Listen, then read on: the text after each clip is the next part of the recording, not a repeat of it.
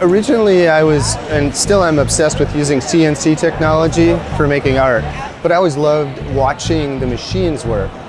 Kind of as a challenge and a joking challenge, uh, an artist friend asked if I could create a, uh, a robot that would rake a Zen garden. Basically this, I should say, Sisyphus is a CNC machine that moves, instead of a cutting tool, it moves a magnet under the sand field.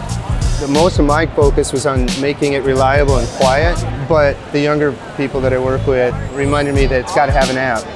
So we needed a Wi-Fi connected computer in the table, and we also, because this is so new, we needed the community, um, and there's just no comparison to the size and maturity of, of Raspberry Pi's community. So it really helped us with the rapid development and continues to.